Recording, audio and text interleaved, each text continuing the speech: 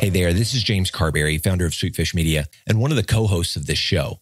For the last year and a half, I've been working on my very first book. In the book, I share the three part framework we've used as the foundation for our growth here at Sweetfish. Now, there are lots of companies that have raised a bunch of money and have grown insanely fast, and we featured a lot of them here on the show. We've decided to bootstrap our business, which usually equates to pretty slow growth. But using the strategy outlined in the book, we're on pace to be one of Inc.'s fastest growing companies in 2020. The book is called Content Based Networking How to Instantly Connect with Anyone You Want to Know. If you're a fan of audiobooks like me, you can find the book on Audible. Or if you like physical books, you can also find it on Amazon. Just search Content Based Networking or James Carbary, C A R B A R Y, in Audible or Amazon, and it should pop right up. All right, let's get into the show. Hey everybody, Logan with Sweetfish here. As we've been doing all month long, we continue our countdown today of the top 20 episodes of 2019. Coming in at number six is a conversation with Lisa Walker over at Fuze on building an effective work from anywhere culture. To get more episodes coming up in the countdown, make sure you're subscribed to the show in Apple Podcasts or wherever you do your listening. You can also check out the full list at sweetfishmedia.com slash blog. Just look for the hashtag best of 2019 in the categories on the right hand side of that page. Welcome back to the B2B Growth Show. I'm your host for today's episode, Logan Lyles with Sweetfish Media. I'm joined today by Lisa Walker. She is the Vice President of Brand and Corporate Marketing at Fuze. Lisa, how are you doing today? I'm good. Thanks so much for having me, Logan. I appreciate it. Oh, we appreciate you making some time to join us. Well, Lisa, we're going to be talking about a topic that is near and dear to my heart. Uh, you know, work is is not a place anymore. The, the the future of work and and running a remote team poses a lot of opportunities and challenges. So we're going to be breaking down, you know, some ideas about that, where things are headed, and what we can do about it. Um, and as a member of a remote team myself, uh, very passionate about this topic. Before we jump straight into that, though, I would love for you to share with listeners a little bit about yourself, your background, your history in marketing, and what you and your team at Fuze are up to these days. Sure. So, as you mentioned, I'm here at Fuze now, but I've been in B2B brand and marketing for longer than I care to admit, uh, both in publishing and then in the tech industry. So, before Fuze, I was actually at Forrester Research for several years doing brand and marketing there. I think one really important thing to know before we jump in is that I'm a working mom of two boys which was a huge factor in me choosing to come work for Fuze and, and come help build the brand here. Um, Fuze is a cloud software company. So what we've built here is a communications and collaboration platform that gives people the ability to call, meet, chat, and share content through one single application across any device they choose. Um, just as a contrast to that, at my last company, I did those things across six different applications for voice video messaging. yeah, it's a lot, right? And I, I, mean, I'm sure you have, you probably have four of your own as we're talking here. Mm-hmm. Um, and that created a ton of friction, frankly, for me and lost a lot of time as I was trying to work. I had a distributed team across, I think, four different countries during my time at Forrester. So it turns out that six applications in an organization is typical. And that's actually the average we see for the companies that we're working with, where we're coming in and displacing those applications and bringing in one unified app for voice video messaging. So that that's sort of the average situation we walk into where you've got six applications or more and we're coming in and bringing it all into one. Mm-hmm. Absolutely. I mean, I can totally relate to that, you know, as being part of a remote team, as being a millennial who's an early adopter. You know, I can remember early on, I had not necessarily talking about communication here, but file storage. I had a, I had OneDrive, I had a Box, I had Dropbox, I had Google Drive. I'm like, hold on a second. I, I'm, I'm spreading myself uh, too thin as I try out, you know, these different applications for different things, whether that's communication or file sharing, those sorts of things. So I can totally totally relate to that. And that's kind of eye opening there that, you know, the average of uh, six apps for communication and collaboration is kind of the average for organizations these days. And I think that leads nicely into the first thing that you wanted to touch on is that, you know, really when we look at communication and we look at work, uh, it's transformed from a place that we go to what we do, right? It has. And I think, you know, if you think back to, I, I, can think back to my first couple jobs, work was a much more formal setting for me, starting out sort of as an information worker. there was a set schedule. There was very little flexibility. I certain didn't, certainly didn't feel like there was a culture of flexibility. But frankly, with the tools we have today, that that's changed. So it's not just about the fact that you can work from different places, but also you can work during different times and those times when you're most productive. And, and we didn't have the tech to do that before. So we did a survey on this, I think it was two years ago, 6,000 information workers globally, and 50% told us they would move to another company if it meant more flexibility, and that was without a pay increase. And 18% said they would take a pay cut or demotion to gain that flexibility. So that's that was really interesting to us. And when we dug in, flexibility wasn't about where I work from. That was one factor. But the other thing that was just as important to people was when I work. So that's sort of the new frontier. It's not just about being able to work remotely. It's mm-hmm. about being able to work different hours if those are the hours where I'm most productive. Yeah, yeah. Wow, those are eye-opening statistics, Lisa. Um, so as we look at as as leaders of, of, teams, think about this, Lisa. What are some of the things that you guys have uncovered about how we can implement these different work mode policies of when and where we work effectively? Yeah, so I think first I would say that having a work from home policy or remote work policy is one thing, but if you actually take that to the next level and have what we have at Fuze is a work from anywhere policy. So our chief people officer, Mary Good, put in a work from anywhere policy, which was intentionally flexible. So it's a flexible policy about flexible work is how I would describe it. but what it allows you to do as a manager and as an employee is have a conversation about what a personal arrangement looks like for you. That's not, you know, these are the different options you have within the company. It's let's sit down as two people and talk about how you can do your best work here. And that's mm-hmm. about when you do your best work and about where you can do your best work and coming up with these personal arrangements. So just a couple examples. I have a working mom who works for me and she's in the office three days a week. She's at home two days a week. And the days she's in the office, she leaves at 1.30 for school pickup and then she's back online in the afternoon. I had another woman who worked for me who decided to move to Philadelphia to move in with her boyfriend. And we would have lost her. But when we sat down and had that conversation, she's now fully remote from Philadelphia. So I think that having a flexible work policy is great, but actually making that flexible work policy flexible and customizable is mm-hmm. sort of that next frontier for people. Yeah, what I hear you saying there is is don't start with the company's perspective and come up with these policies of, you know, we allow 2 days from home or, you know, whatever the standard is is take an individualized approach and take it from the employee's perspective.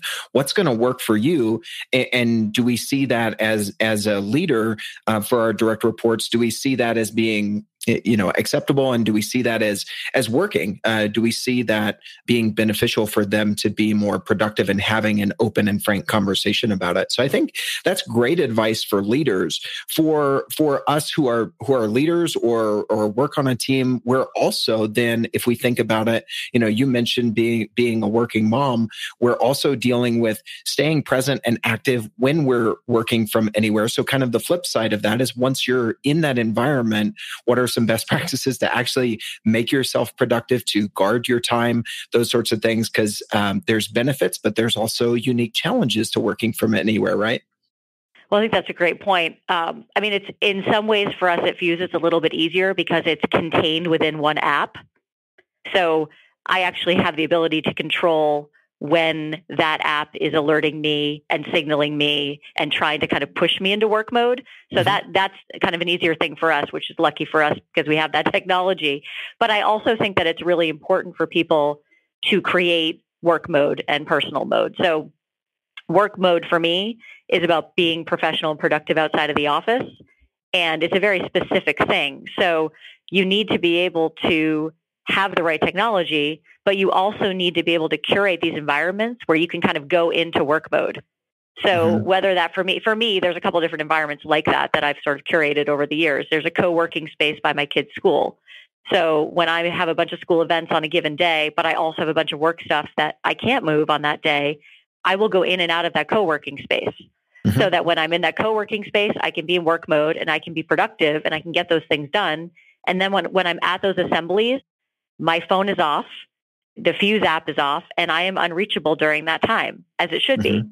And so mm-hmm. that's me choosing to go in and out of work and personal mode, but it's much more fluid now. And I think people come in and out of work mode very quickly. So, you know, you come home at night and you want to have dinner with your family, you have to find a way to put those devices away and mm-hmm. switch out of work mode.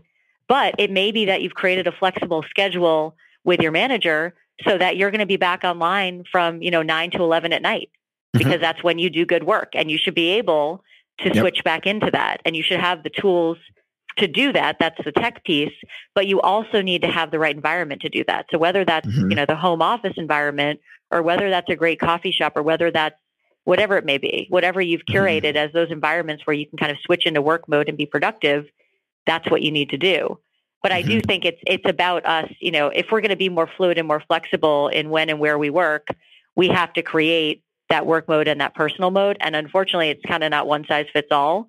I mm-hmm. do believe that you have to, same thing, you have to kind of customize that to how you work best.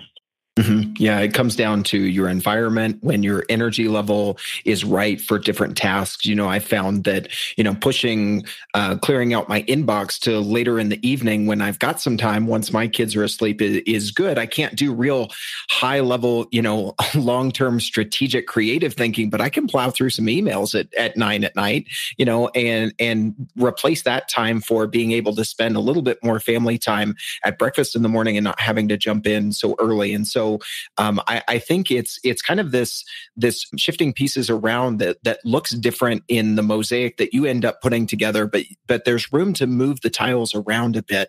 Uh, so I think that's an important point that you touched on there, and also realizing that it is fluid as we switch in and out of both modes, but it's not instantaneous. You know, I, I, I find myself as a millennial, even though I've heard all the research and I, I know it all to be true that we can't multitask. Every time we switch um, tasks, we lose so much productivity. And it takes time to regain our focus, but still try to do it. And so I've, I've heard a lot of people, um, you know, just use the technology to keep technology from distracting us in the way that you're saying in times that you either completely shut off your phone or you change your notification settings in Fuze or Slack or whatever communication app that you're using. And I think those boundaries allow us to switch actually more fluidly than just uh, every, you know, 30 seconds, 90 seconds, whatever it is. We think that we can switch fluidly that way, but it's more about the boundaries actually make us be able to switch those modes more fluidly uh, on a regular clip, right?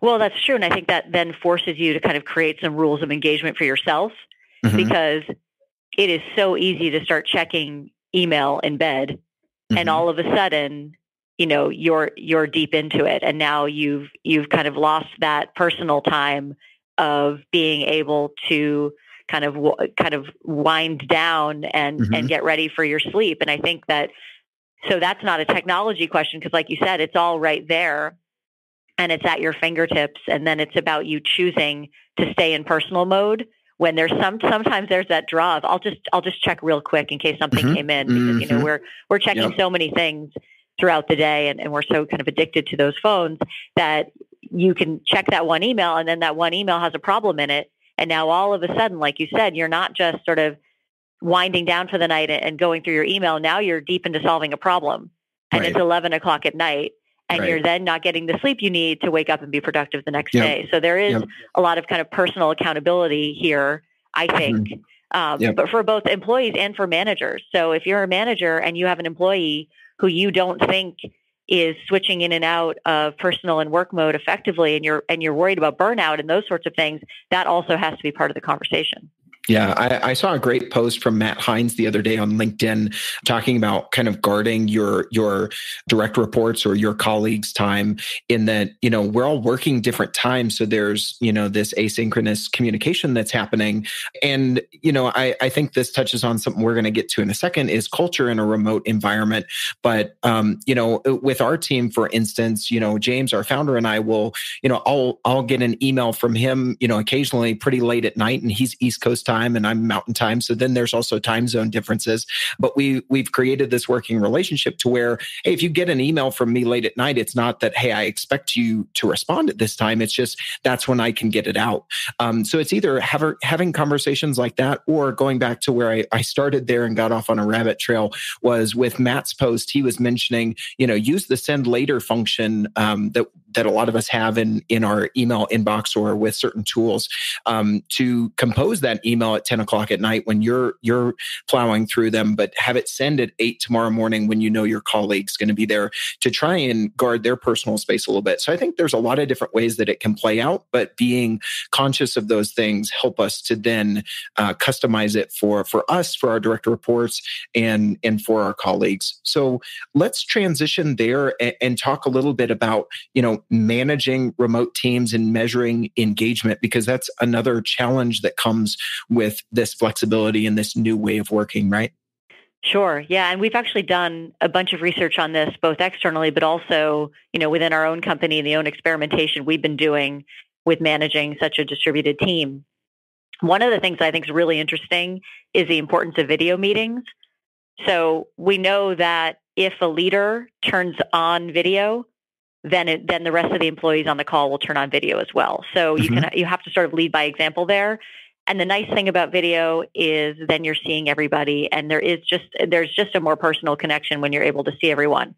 Now, what I say to people about video, both for the the manager and for the for the employees on that video call, is that it's all about sort of creating the perfect frame. You don't have to have a clean house, but you have to have a clean shot of yourself in the video. So there's kind of a personal brand here. If you have a large team on a video conference from around the country or around the world, everyone has that opportunity to sort of present a personal brand moment. That's sort of me mm-hmm. putting my brand hat on. But you should be curating just one good frame. Mm-hmm. And there could be chaos around that frame, but yeah. there's an opportunity for you to be consistent on that weekly team call that every time that team call happens and that video flips on, you sort of know what you're getting from people. And that's mm-hmm. that's what we were talking about when we talk about work mode, right? You have to create environments where you can be productive. And one of those important environments is video. So I think as a manager, it's just really important to have those video meetings. Now, in those video meetings, when you when you get that group together, start with the personal and start with a few of those conversations that are more personal and then segue into those company updates because remote employees will always talk about how they feel disconnected from HQ mm-hmm. and disconnected from the company. That's just one of the things you always hear from people who are remote. So you have that opportunity to first make the personal connection and then second, make sure that any of the things they may be hearing about what's going on at the company that you're getting ahead of those things and giving a as transparent as you can, giving a really transparent company update and then get into the team stuff. But just do those those first two things off the bat to make sure that the team is feeling connected. So that mm-hmm. would be first would be the video. Yeah. Second for yeah. me is chat. I mean, you talked a little bit about chat earlier. Some people do it over Slack. We obviously here do it over Fuze. There's lots mm-hmm. of different chat tools out there. But keeping a persistent team chat going and that asynchronous communication is just a great way to have the team feel bonded. And they'll talk about personal and professional in that chat stream and mm-hmm. that's fine. And then for specific projects where it needs to be more formal, you can create those project chat streams that yep, are separate. Exactly. So having exactly. just that one team chat, I think is a really nice thing. And then the third thing, which is of course the hardest because it costs a lot more money, is bringing people together in person mm-hmm. as often as you can. And so, mm-hmm. you know, for us within the marketing team here at Fuze, we do that twice a year at a minimum. And we just did that this past week. It was wonderful. We had our sales kickoff and then we stayed together as a marketing team yesterday and had that time together. But just making sure that you're finding those opportunities and making that case for budget if you need to, to get the group together on, on some sort of basis. And then the other thing that I think a lot of managers don't do that's a missed opportunity is when you're out in other cities for other types of work, whether you're out meeting with customers, you're at a conference, if you have an employee within striking distance, meet mm-hmm. them. Even mm-hmm. if there's no office there, go take them to coffee, take them to lunch, take them to dinner, take those opportunities. Don't just fly in and out if you have employees in that region, find a way to go have a personal connection with them and, and meet face to face. Yeah. So those yeah. are the things, those are kind of the three big ones that we've seen as we've been kind of experimenting here at Fuze, but also talking to our customers. All right, today's growth story revolves around search engine marketing, and we'll be shining the spotlight on Aegis Software, a company that makes software for manufacturing operations. Aegis was one of the first companies in their space to invest in search marketing, but as competition grew, their performance plateaued. To counter this, they hired Directive Consulting, the B2B search marketing agency. With unparalleled experience in inbound lead gen for B2B companies, Directive was able to increase Aegis's monthly online leads by 457%, while at the same time lowering their cost per lead by 147%. Now, I have a hunch that Directive can get these kind of results for you too. So head over to directiveconsulting.com and request a totally free custom proposal. That's directiveconsulting.com. All right, let's get back to this interview.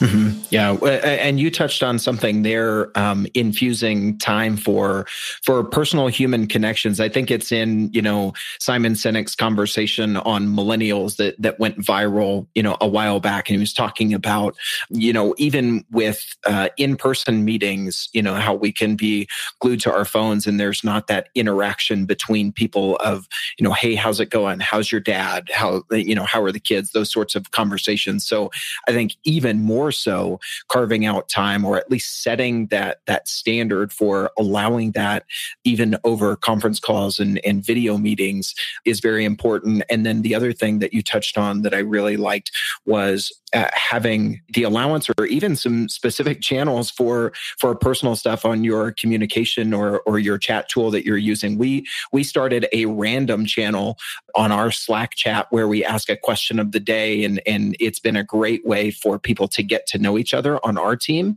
um, and there's a lot of funny stuff but i can also you know snooze my notifications there to where you know i'm only getting alerted to really pertinent matters if i'm having a really busy day or or something like that so there are ways that we can leverage technology if we're very intentional about it to allow, you know, chat tools like Fuze and, and other communication tools to bring us together and, and not divide us, which they can do if, if we're not careful. So I, I love what you're saying there. Um, and anything else you'd like to add on, um, you know, culture in a distributed organization? You you know you've mentioned the power of video leaders leading by example. We talked about you know infusing personal touches in the communication and and then getting together in person when and where you can. Um, anything else you'd add to that? I think the biggest thing culturally is is the idea of kind of thinking remote first and mm-hmm. that's something that we've been talking about for a while here.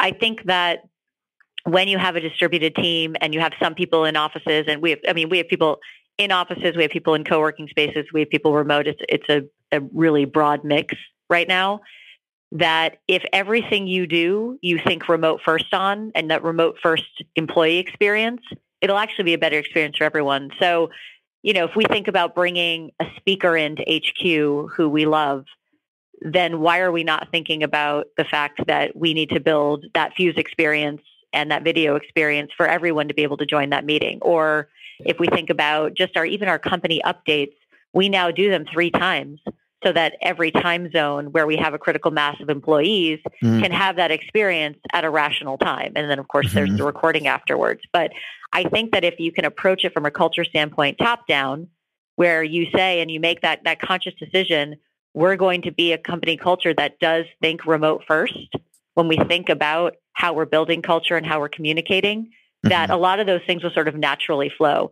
So, for instance, on the video calls, one of the things that will happen is if someone's not turning on their video, you'll ask them why they don't have their video on. Mm-hmm. And it's it's in our culture, that's okay to ask that question.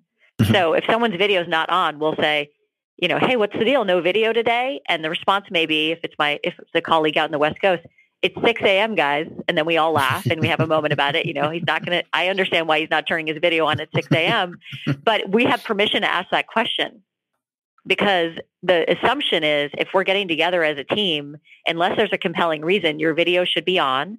And I should not see you looking at your phone because there's accountability with my video on. It's a, mm-hmm. it's a lot harder to multitask when everyone can see my eyes darting around and looking down at my phone. So mm-hmm. I think that that culture standpoint of if everyone in the entire company can think remote first, that we'll, we'll naturally do a lot of the right things.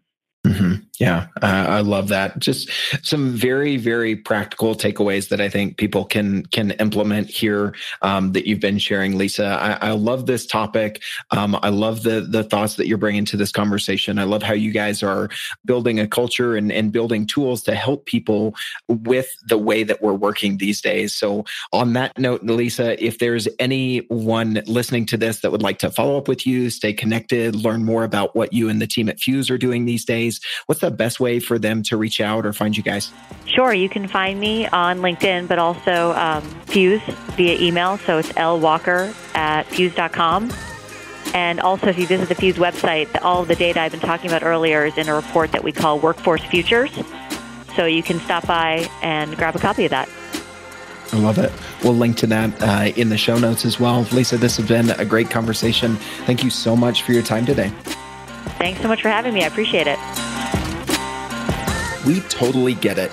We publish a ton of content on this podcast, and it can be a lot to keep up with. That's why we've started the B2B Growth Big Three, a no fluff email that boils down our three biggest takeaways from an entire week of episodes. Sign up today at sweetfishmedia.com slash big three. That's sweetfishmedia.com slash big three.